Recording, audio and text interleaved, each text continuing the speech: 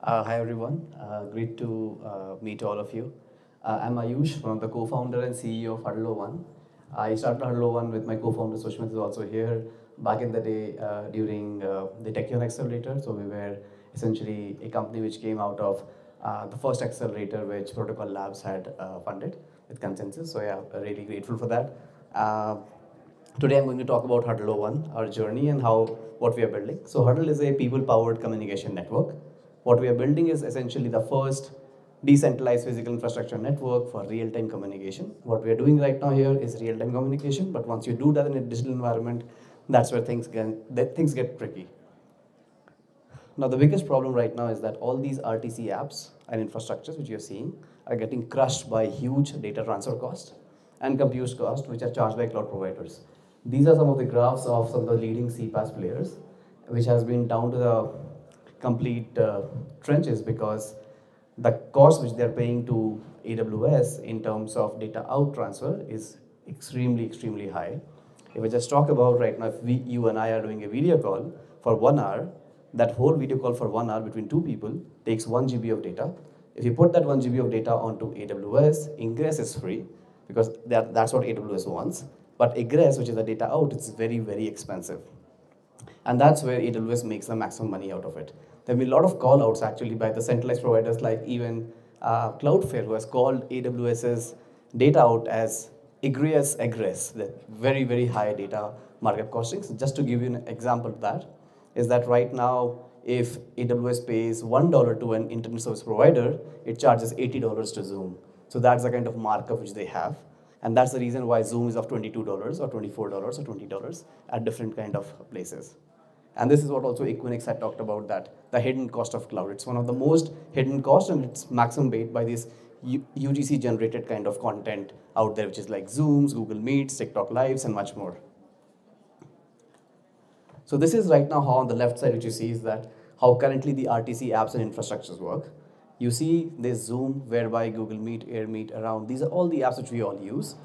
Clubhouse as well in the past.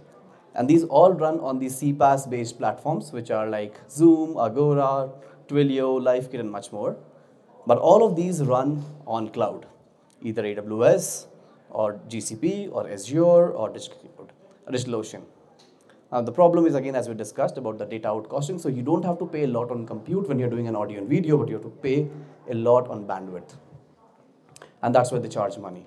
And that's where we have come up by building our own people-powered network. All of us here who are doing, who have, who are using, uh, have a good home computer, has a good bandwidth of around 300 Mbps of uplink and downlink, which you can use essentially to power these kind of calls. So we can create this alternate network, which essentially can power the call uh, which can make sure that Zoom and all the other RTC apps can use that to basically for their data out costings. So this is what we are building. Uh, so in future, apps like Zoom can run on Huddle One, uh, but right now we have to bootstrap demand, and that's what we have been seeing in the DePIN networks that you have to balance between demand and supply. So what we did was that we built our own app. We built our own SDKs so that we already have bootstrap demand. So we have more than 3 million minutes of demand already on the platform, and now we are slowly building the supply side to make sure that we can give this supply, move away from this cloud providers towards uh, the people-powered network. Now this is the most interesting slide. This is a vetted, validated slide, even when I was, pitching this in front of an AWS person, is that if you're using Zoom right now, uh, the costing which you pay is, uh, if you're just having a 24-7 traffic or 2,000 peers, is $3.5 million which is extremely high, and this is because of the markup costing which is out there. This costing, essentially, Huddle One, what we are building, this costing goes down completely from $3.5 million to, to less than 130K. Even it goes even lower, but uh, that's more on a theoretical limit. We have to see how much lower can it get once we involve crypto economics into the picture. Now, this is the uh, emerging DePIN market. We have been seeing right now how Filecoin was the kind of flag bearer to DePIN before even DePIN was uh, made a term. Uh, and so basically in storage, we have been seeing Filecoin leading the way. We have compute with Render, Akash doing well. Then we have 5G and IoT and then big data with mapping and all, with DIMO and all the others doing well. And Huddle is doing the same thing for egress, which is the bandwidth data out transfer cost. This is Huddle One technology. Uh, we have two layers. The supply side is DRTC network, and the demand side is app and the SDK. Uh, so we have built the app and SDK first. That means we built demand first. So you can use Huddle One right now in your own iOS phone. So you can use that on your in your mobile app, uh, both on Android, on, on iOS. It's very simple to use, very fast to use. So it's peer-to-peer -peer till four people, and post that, basically you have to scale it out. So that's where it also becomes centralized. But this is how we have bootstrapped the demand side. There are a lot of interesting things there. We store our recordings on IPFS and Filecoin. Um, we do live streaming uh, via LivePeer. We use different kind of composable stack to make sure that the experience is as good and better. Uh, would love for you guys to try it out. Uh, this is the applet, and we have an SDK, which looks very similar to how Twilio or this kind of SDKs look like. Uh, and but you can run these different kind of build your own Zoom, build your own Clubhouse, build your own these kind of apps. And we have been seeing a lot of people. We've done a lot of hackathons, even with Filecoin doing the FVM hack, and a lot of people have built very interesting stuffs where they have built this video and with the programmable storage. So interesting stuff we have been doing to make sure that people are building this kind of uh, uh, new uh, native video conferencing platforms. And this is the DRTC network, which we just talked about.